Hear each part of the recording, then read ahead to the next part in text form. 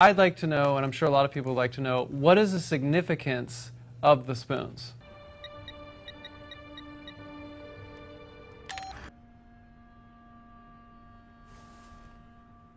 I never hit you.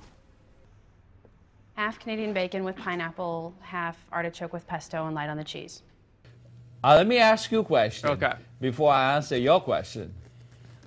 Okay, what do you have first? What kind of spoon did you have? Plastic or what kind? What what kind of spoon I, did you? I, you know, kind of stuck to the traditional silver spoons. I grew up with a silver spoon. okay, what, what, before silver? What was it? Um, I don't do plastic, so I'd have to go back, way back. I'd have to say wooden spoons. That's correct. The wood spoon. Okay, we not even rehearsed this, but you know about it.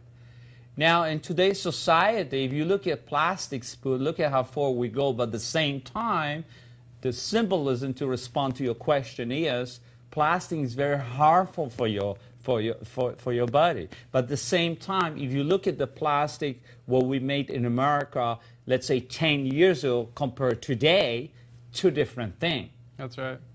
Today, you, you can eat from plastic spoon and you will not get a, certain allergy, for example. I'm familiar with that.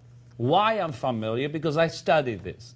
As you know, I studied psychology. Oh, I was just going to say that. so, so it's again, this is symbolism, also survival as well. Think about it. What what we can do, how we can improve. It's, it's again, this is one of our tiny little thing in the room where people can connect together. And uh, you can you can ask me other question. It'll be the same thing. We can we can write a book about it. You know what I'm saying? yeah. Oh, yeah.